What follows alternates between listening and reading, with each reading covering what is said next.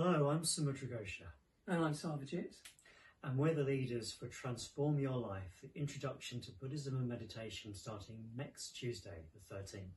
It's a six week course, and we'll be looking at a number of aspects of Buddhism and also to- teaching two key approaches to how we meditate.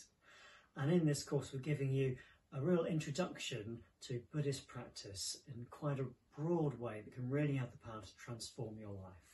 Yeah, I think it's a radical act to be a Buddhist at the moment in this modern world, to actually live your values truly and uh, live a, move towards a simpler uh, life. A simpler life and a freer mind, something I care very much about. Buddhist practice frees the mind. So come along and give it a taste.